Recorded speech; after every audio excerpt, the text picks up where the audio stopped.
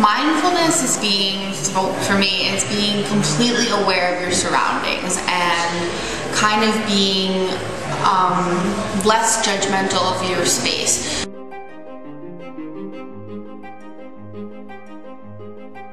Um, I use mindfulness during my day if I'm feeling stressed or anxious, and what I do is I use some skills.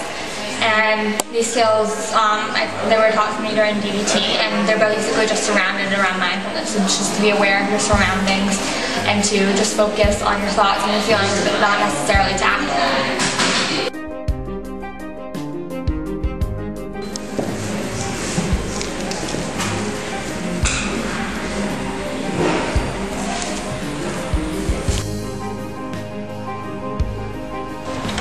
understand why I would do that. Like, what's wrong with you? Are you trying to ruin my life?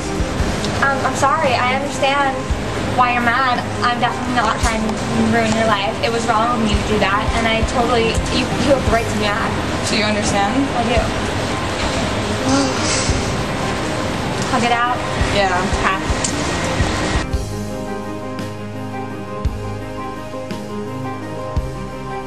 Some mindfulness exercises are useful to me, such as um, breathing deeply, staying silent for five minutes, and meditating.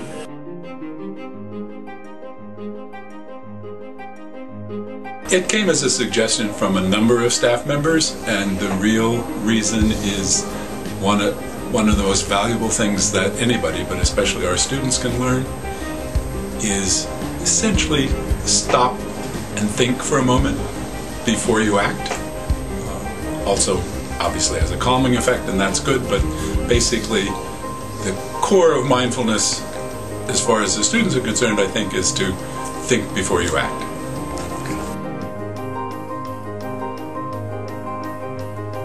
So everyone just stand still and notice any itches. Do not scratch them, just observe them. If your mind wanders, just bring it back. Um, notice any judgments.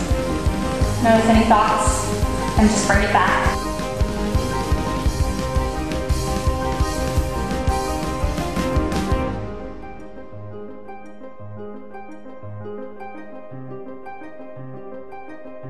Okay, so now we're gonna go through each of you and you're gonna describe how it felt and if you had any judgments and what they were. So Ben. I was itchy. At first, I was just noticing the, the itches, thinking about like, oh, what do I look like on camera? And like, is this like I, I was like thinking about how I was being perceived, and I realized like I kind of stopped noticing what was going on. Did I feel anything? No itches.